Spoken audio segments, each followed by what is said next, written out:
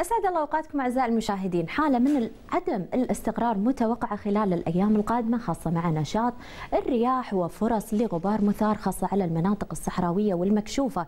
آه، سرعة الرياح قد تصل إلى أكثر من 45 كيلومتر وتتسبب أيضا بارتفاع الأمواج. قد تصل ما بين 7 إلى 8 قدم. ما ننصح في أي نشاط بحري في هذه الفترة؟ وكذلك متابعة نشراتنا الجوية باستمرار.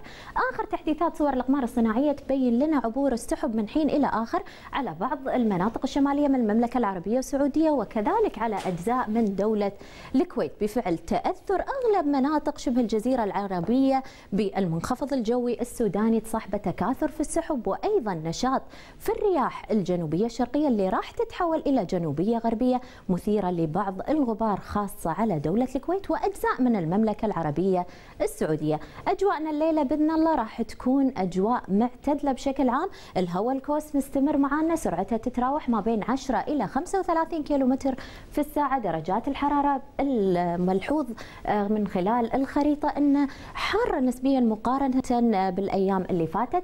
28 إلى 29 درجة مئوية ما بين مدينة الكويت إلى مطار الكويت الدولي.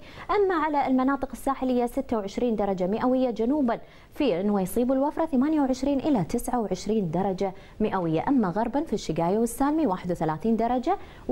والعبدلي شمالا 37 درجة مئوية. مع دخول ساعات الصباح الأولى راح تبدي تتحول الرياح من رياح جنوبية شرقية إلى رياح جنوبية غربية تصل سرعتها إلى أكثر من 45 كيلومتر في الساعة. قد تكون مثيرة للغبار خاصة على المناطق الصحراوية والمكشوفة. مرتادين الطرق السريعة حطوا بالكم في هذه الفترة وكذلك تابعوا النشرات الجوية باستمرار. درجات الحرارة الصغرى المتوقعة ليوم الغد 27 على المناطق الساحلية. جنوبا ما بين نويصيب والوفرة 26 إلى 27 درجة مئوية. مطار الكويت ومدينة الكويت 28 درجة مئوية. كذلك بفعل نشاط الرياح قد يرتفع معها الموج ويصل إلى أكثر من 6 قدم ما ننصح في أي نشاط بحري في هذه الفترة وتأجيل أي نشاط بحري ومتابعة النشرات الجوية باستمرار من خلال نشراتنا الجوية أو من خلال آه، حساب وزارة الإعلام في مواقع التواصل الاجتماعي أو من خلال تطبيق كويت التابع لإدارة الأرصاد.